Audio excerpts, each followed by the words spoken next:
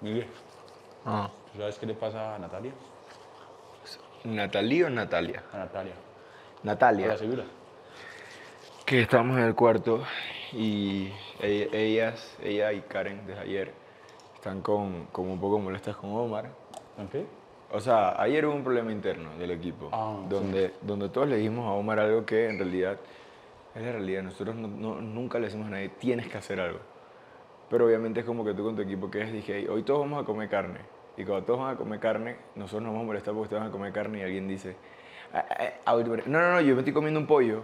Y era como que todos habían quedado en algo, era como que... Entonces, obviamente, nadie le dijo como que, hey, bro, esto está mal porque esto, esto le dijimos, bro.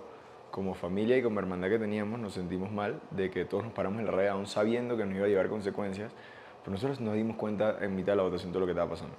Entonces todos se pararon firmes hasta el final y él no. Y nosotros le dijimos, bro, a nosotros nos dolió eso. Yo se lo traté de decir de la forma más calmada. Ellas se lo dijeron un poco más molestas. Él desde ayer se rayó, empezó a decir un poco de cosas que, a mi opinión, innecesarias. Las dijo de la rabia del momento. Yo incluso ayer le dije, yo como amigo, ya no te estoy hablando como competidor, te estoy hablando como amigo. Yo te conocí arriba te dije que el día que la tuvieses cagando yo te lo decía de frente porque te quiero. Así mismo me gustaría que me lo dijeras a mí. Y si te lo estoy diciendo de forma calmada, es porque es para que me entiendas también, pero tú te estás rayando y te estoy viendo como amigo, que estás rayado ahorita, que tienes rabia, y decido, y te lo- porque él me sigue diciendo cosas a mí, yo le dije, prefiero ahorita no hablar contigo porque sé que no vamos a sacar nada positivo. Y desde ayer yo se lo dije y yo me he mantenido, lo quiero mucho, lo, lo saludo, lo que sea, pero yo sí estoy resentido en el sentido de que dijo cosas que innecesarias, que era como que, bro, tampoco pintes la cosa así como que es así, porque tú has sido parte de esto todo el tiempo y tú sabes que no es así. X son cosas que, que en el momento tendría que hablar con él frente a frente, pero hoy en la, tar- en la mañana, cuando él se en- entró al cuarto, él estaba hablando un poco de cosas y él toda la mañana ha tocado temas refiriéndose a la comida, pero metiendo como la indirecta y la pullita de que a él nadie le dice qué hacer y de que es la casa de todos. Entonces él está tirando la pullita y cuando ya estamos en el cuarto, la segura sí le dice, no, que él dice, a mí no, a, mí no me eh, eh, a nadie le puede molestar que les digan las cosas en la cara. Y, y la segura le respondió, como a ti, que te decimos una cosa en la que no te puedes molestar. Y él se molestó y la forma en la que le habló la segura, a mi opinión, Fue no fea. era fue fea. No era la forma correcta de hablarle a una mujer. Porque él empezó, yo respeto a las mujeres, respeto a las mujeres, pero le empezó a decir un poco de cosas a ella bien duro, que la segura yo conociéndola dijo como que le puedo responder duro, pero si le respondo duro me voy a exceder yo también. Claro. Y se quedó callada y cuando él salió del cuarto que le dijo como que tú no sé qué, no sé qué, y se salió del cuarto, ella se puso a llorar. Arrancó a llorar, tuvimos que consolarla a nosotros de que tranquila, que no sé qué. Y es como lo que te digo, bro, ahorita en verdad yo tampoco me siento bien, estoy porque estoy harto de toda esta estupidez de las peleas de todo el mundo a cada rato. Y es como que, bro, yo estoy en el medio. Y hace un rato le pedí, por lo menos culo Tauro. Le dije, bro, disculpa por cómo te hablé en la mesa, pero es que no quería que te metieras contra Nati, como que tú hiciste esto mal, no sé qué, no sé qué, porque nos vamos a ir a quién hizo qué mal. Y yo le dije, bro, ya no estamos para ver quién hizo qué mal, estamos para resolver. Y culo me dijo, no, papi, yo te entiendo y te agradezco y no tengo nada que perdonarte porque hiciste bien. Eso es lo que teníamos que hacer. Y ya, y es, es donde te digo, o sea, culo Toro me entendió. Y yo le dije, bro, disculpa. No como un jardín. Es que. Entonces ya estoy cansada de las peleas de todos, parecemos niños, peleando por ego, peleando por inmadurez y es como que, bro, en verdad, yo entiendo que es una competencia y yo voy a competir, pero, bro, cha, una cosa es ir a competir y una competencia y otra cosa es estar todos los días pasándola mal discutiendo vainas. Y a ti cabría estar yo en el medio teniendo que discutir con otras personas por defender a algunos o por evitar algo, meterme yo y caer mal yo por meterme. Entonces es como que, bro, ya estoy mamado estarme metiendo, pues ya es como que, bro, ya prefiero quedarme callado en un lado ya. Que no me diga, en serio. Pero te das cuenta, Miguel, todo esto pasó por, por una cizaña, m***, que las cizañas no se No, pero es que incluso, permitir, ¿sabes que la cizaña? Yo lo acabo de hablar con Juanda. Juanda, mira, mírame, ayer, ¿te acuerdas que habíamos subido? Cuando veníamos bajando fue que Juanda me contó. Cuando Juanda me contó, yo no entendí bien lo que él me dijo. Él me había contado también de que en mi equipo habían dicho eso. Yo no le escuché esa parte.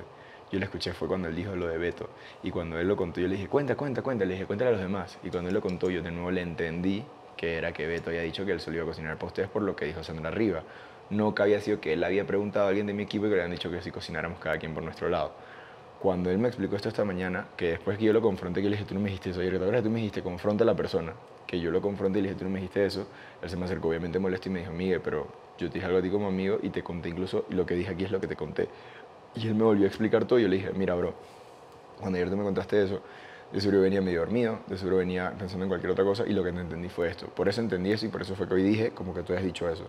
Si no fue así, mala mía, disculpa, me dijo, no, Miguel, yo en verdad sí te conté eso, tal vez no te lo expliqué bien a fondo y por eso no entendí. Pero yo le dije, bro, mala mía, había entendido mal, ya entendimos qué es lo que estamos hablando en la mesa, falta de comunicación, entendimos mal las cosas, olvidemos de lo que pasó, de que, de que quién dijo qué y quién hizo qué, y busquemos la solución. Que por eso yo te decía a ti, bro, al final, o sea, ir a, ir a buscar quién y quién y quién nos va a llevar a que sigamos reconociendo quién hizo mal qué. Y yo no te iba a estar reconociendo quién hizo mal qué porque aquí todos hemos hecho mal en algún punto de la casa. Todos hemos sido irresponsables en cosas de aseo, irresponsables en cosas de comida, irresponsables en estrategia, irresponsables en cada cosa.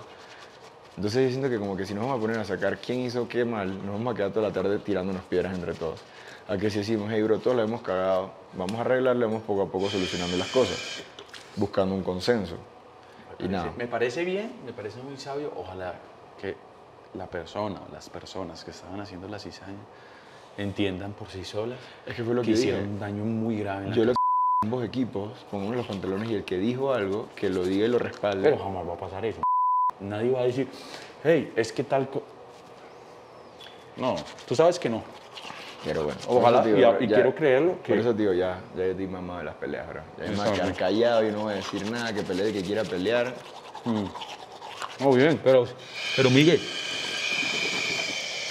quería preguntarte lo de Natalia, porque es que como están las cosas y de pronto uno se acerca, entonces uno no sabe qué pueda pasar. No, yo digo que ahorita mismo, bro, Pero por lo quiero- menos me por la mañana, acercar. por Ah. la mañana, por ahorita que estamos tensos, bro, déjalo así.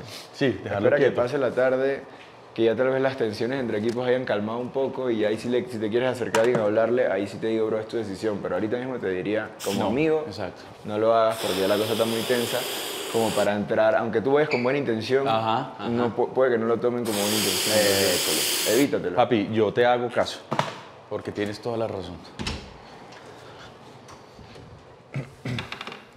Ay, mi agua, espera.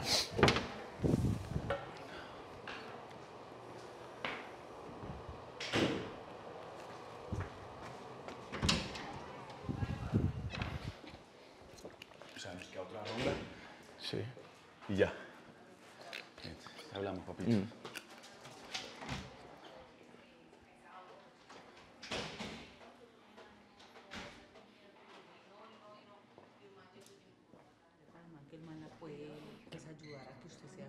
pues, ¿qué tal? Yo dije, listo. Y empezamos la primera ciudad y él allá donde está José Miel y yo acá. Y yo, así. Y ya nos íbamos a subir a tarima y yo ni lo miraba así.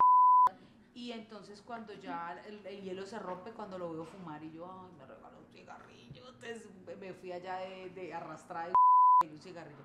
Le pedí el cigarrillo, empezamos a hablar y cuando empiezo a hablar con el el ¿Te perdiste algo de la Casa de los Famosos Colombia? Ponte al día de una con la app de VIX. Encontrarás todas las galas anteriores, repeticiones de la previa y el after show. No te pierdas nada. La casa, la casa, la casa, la casa de los Famosos Colombia. Descarga la app de VIX ya, ya, ya.